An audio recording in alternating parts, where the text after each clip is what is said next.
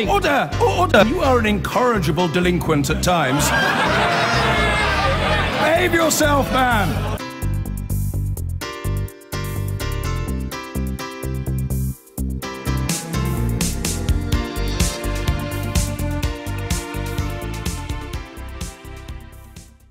This week has always been the programme that knows what tomorrow brings because, well, it's always tomorrow by the time it finishes.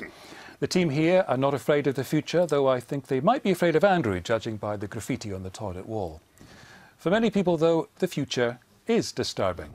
Are they right to be worried?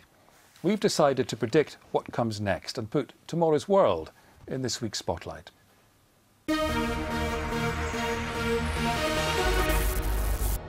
My question is, does our possession of nuclear weapons make us more secure or, and make the world more secure, yes or no? The decision on whether to renew our nuclear deterrent hinges not just on the threats we face today, but also on an assessment of what the world will be like over the coming decades.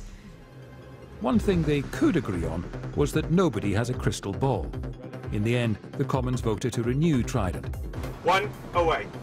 But who can guess whether it's a nuclear war that we need insure against in the years to come? In a week when attackers in France and Germany used far less sophisticated weapons to terrorise, are the threats we face now more crude and far more unpredictable? But in an age of technological innovation, surely the future has never looked brighter for youngsters. Not according to the Resolution Foundation think tank, who said this week that despite the perks they enjoy, millennials could become the first generation to earn less than their parents did. Breaking boundaries, Jean-Michel Jarre has always embraced the future with his pioneering brand of electronic music. But his new album now questions our relationship with technology. So is even he sounding a note of caution about what tomorrow may bring? And we are incredibly excited to be joined by the pioneering electronic musician Jean-Michel Jarre. Welcome to This Week. Thank you. Are you excited about the future or a bit scared of it? You know, when I started uh, in my career as a young musician, we, we had this kind of uh, uh, greed and, and quite optimistic vision for the future. We, we were all thinking that after 2001, I mean, cars would fly, Europe would be united and uh, uh, we've, be, we've, been slightly disappointed. And actually, we lost maybe after year 2000 this, uh, this maybe appetite or, or hope for the future. In a sense, we have to reinvent the future. It's a little bit, little bit like the end of the 20th century was like the beginning of an, of an era with lots of hopes and a little bit like if the, the, the, the, beginning of the 21st century would be like the end of something that we have to we have to reinvent ourselves politically, socially, and uh, and probably artistically as well. And how much of that do you think is to do with world events, and how much is that to do with you're getting older? No, I, I, I think that it's uh, it's due to the to uh, the idea that uh, uh and the fact that suddenly technology went so fast that we uh, we have an ambiguous re relationship with modern technology. On one side, we have the world in our pockets through our smartphones. On the other side, we we feel that we are spied on by the outside world. So we we, we have this kind of anxiety for for tomorrow. Well, on the subject of being spied on, tell me about your collaboration with Edward Snowden.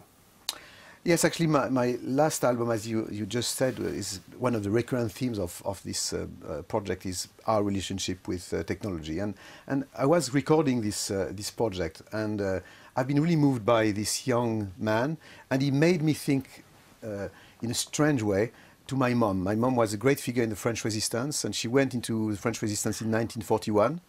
And, and she always told me that at that time, that lots of French people don't want to, to remember. I mean, lots of people were considering resistance as troublemakers, even not as tra traitors, because they were questioning the power in place. Mm.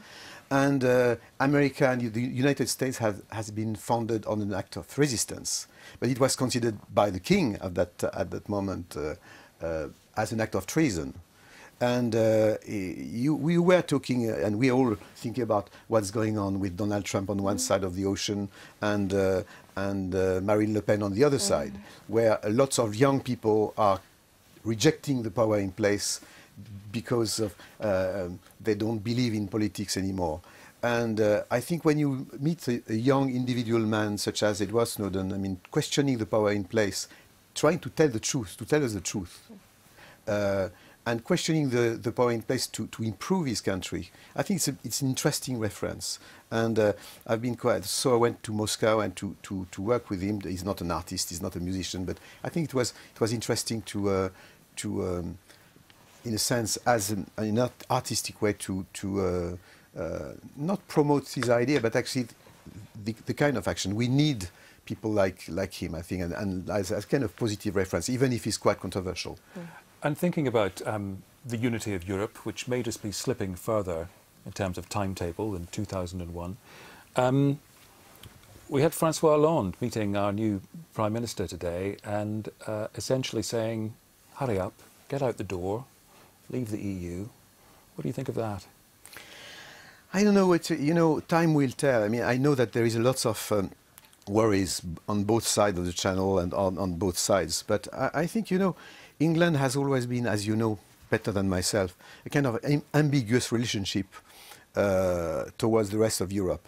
I mean, since, since uh, Elizabeth I, I oh. mean, uh, actually, uh, England, you, you had a kind of um, uh, distance and remote attitude towards the, the, towards the rest of Europe. And yes. by the end of the day, it has not been that bad for, for, the, for England, for the UK. And just before we go, tell me about your festival.